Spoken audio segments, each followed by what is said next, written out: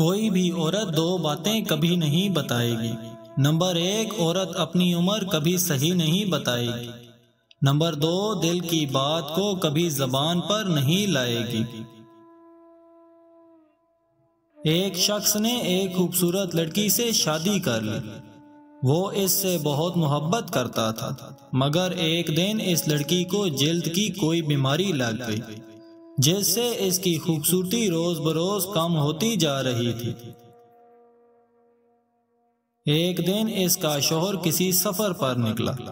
वापस आते हुए उसे हादसा पेश आ गया और इसकी दोनों आँखें चली गईं। लेकिन इनकी अजदवाजी ज़िंदगी यूँ ही चलती रही और इसकी बीवी की खूबसूरती मजीद कम होती रही। मगर अंधे आदमी को इस बात का इलम नहीं था। लिहाजा इनकी ज़िंदगी पर कोई असर न पड़ा। दोनों एक दूसरे को पहले की तरह चाहते थे और एक दूसरे का ख्याल रखते थे। खुदा का करना ऐसा हुआ कि एक दिन उस लड़की का इंतकाल हो गया और उसका शोहर नहायत गमगीन था।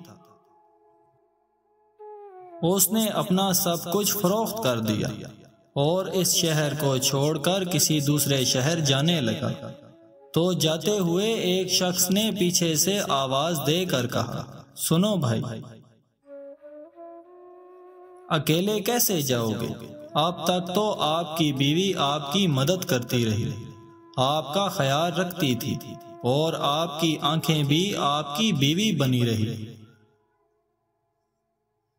अंधे आदमी ने जवाब दिया कि मैं अंधा नहीं था, मगर उसे ऐसा दिखा रहा था, जैसे मैं अंधा हूँ। क्योंकि अगर उसे पता होता कि मैं उसकी बदसूरती देख सकता हूँ।